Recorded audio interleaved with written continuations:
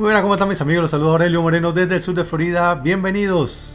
El clasificado número 2 del Consejo Mundial de Boxeo en las 135 libras, el dominicano El Abejón Fortuna, Javier El Abejón Fortuna, con marca de 35 y 2, un empate, 30 y 24 victorias, perdón, por la vía del cloroformo. Se estará enfrentando este sábado por la noche en Los Ángeles.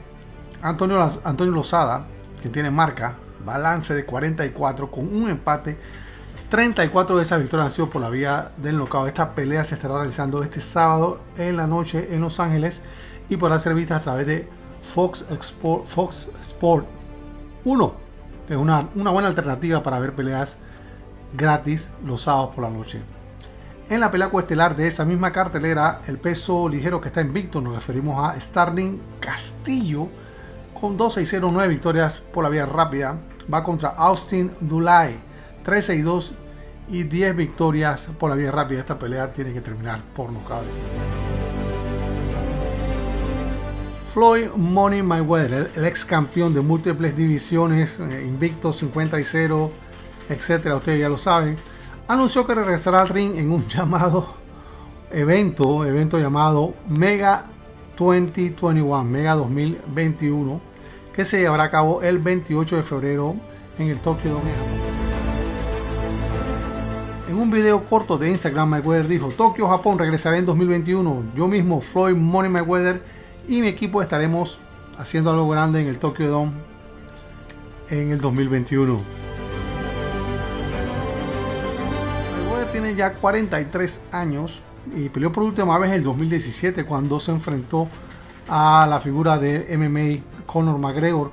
Luego hizo un combate de exhibición contra un atleta de artes marciales mixtas en Japón. Esto fue el 31 de diciembre del 2018 y aparentemente estará de regreso haciendo algo similar. Allá en Japón no, estará boxeando, no creemos que sea algo de boxeo, que sea una pelea también de exhibición en el nivel este, eh, con, estas condiciones, estas características que hizo en Japón el 31 de diciembre ante una estrella de las artes marciales mixtas del Japón. Vamos a ver qué, qué tiene entre planeado, qué tiene entre manos Money Mayweather. Pongan atención a lo que les voy a comentar a continuación.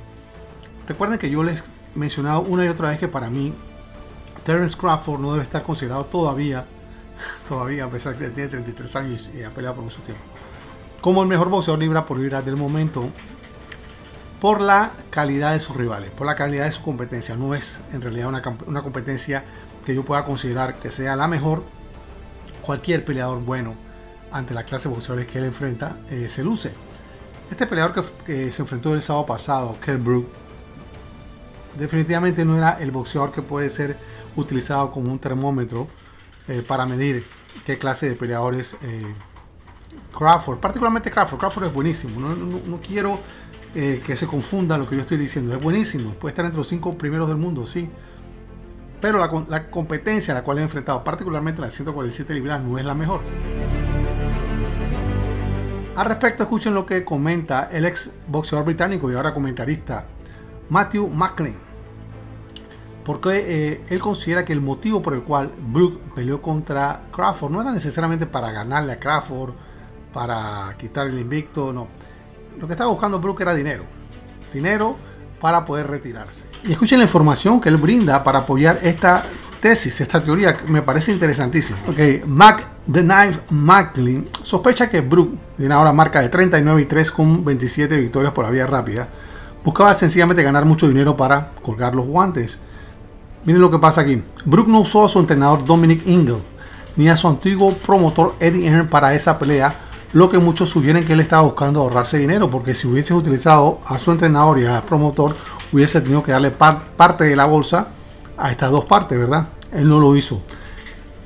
Brook organizó la pelea con los promotores de Crawford en Top Rank y usó un entrenador diferente. Está ahorrando dinero.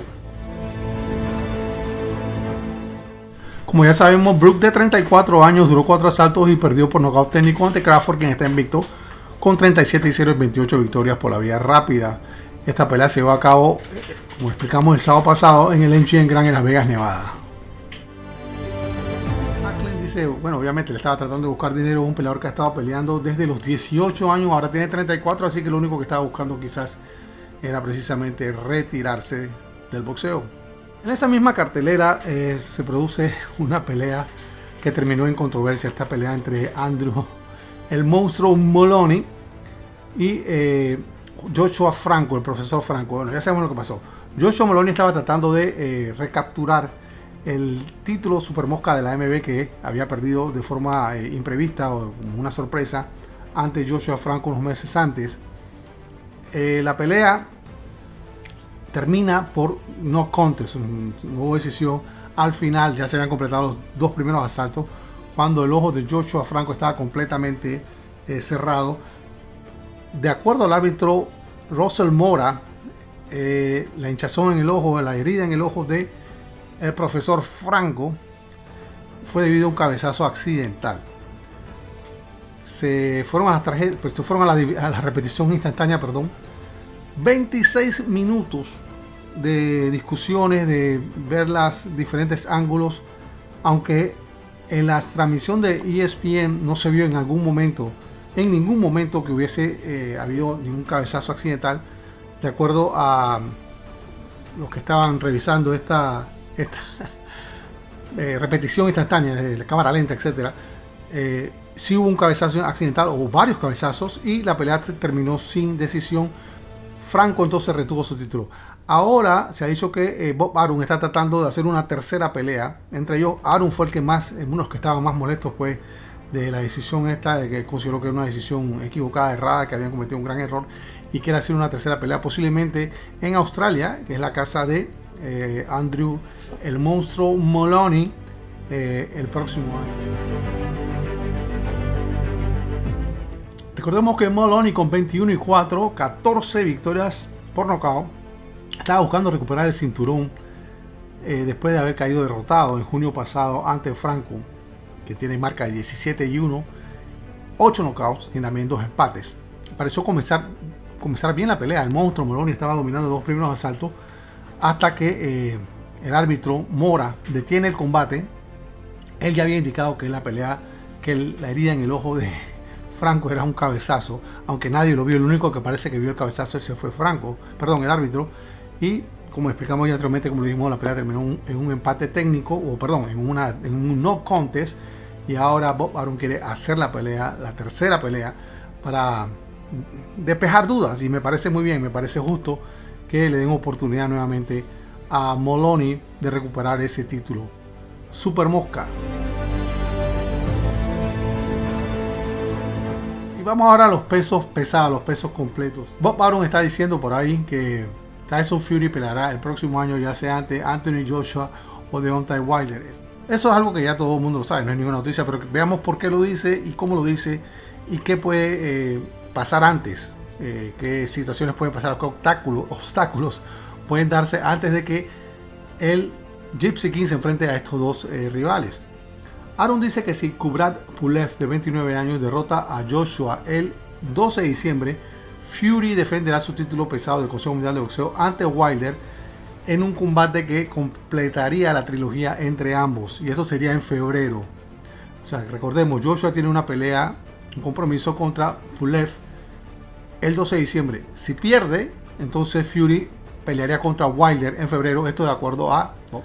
Pero si ocurre lo contrario, si eh, Joshua gana esa pelea, se le gana a Pulev, entonces Fury se enfrentaría, se enfrentaría a Anthony Joshua a principios del 2001. O sea que todo depende de la pelea entre Pulev y Anthony Joshua que se realizará ahora el 12 de diciembre. Hasta ahí estamos claros, pero todo indica obviamente que Joshua eh, logrará una victoria este 12 de diciembre ante Pulev. Y entonces Tyson Fury se enfrentará dos veces a Anthony Joshua en el 2021.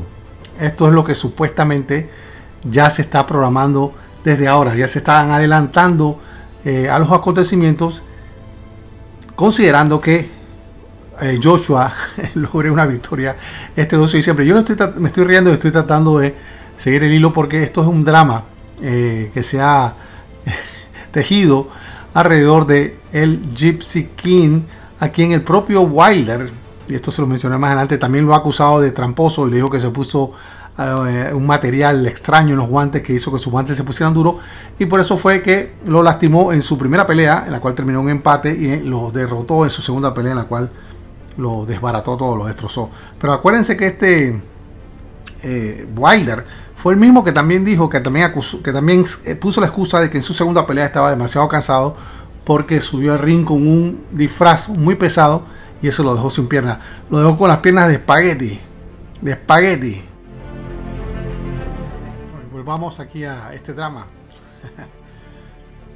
Fury está invicto, tiene marca de 30 y 0 con un empate, 21 victorias por la vía del cloroformo. Él no ha peleado desde que desmanteló a Deontay Wilder en su revancha en febrero. The Browns Bomber, el borbandero de bronce, posteriormente ejerció su propia cláusula de revancha. Se tenía que enfrentar por una tercera ocasión. Pero esta pelea, por, eh, varias razones, se fue posponiendo y posponiendo. Primero las lesiones del propio Wilder, el COVID. Se tenía planeado que eh, se enfrentaran de nueva cuenta el 19 de diciembre, pero había conflictos con el tema de la televisión, con el tema del fútbol, etcétera, no se pudieron poner de acuerdo y de acuerdo al grupo de Fury, la fecha para llevar a cabo esta tercera pelea expiró, expiró y eh, por eso no se puede, no van a poder pelear por tercera vez. Además que Tyson Fury está molesto también por las acusaciones del Bronze Bomber, del bombardero de Bronze Wilder, al acusarlo de que utilizó eh, algo en sus vendajes dentro de los guantes para lastimarlo de la forma que lo lastimó en, ambas peleas.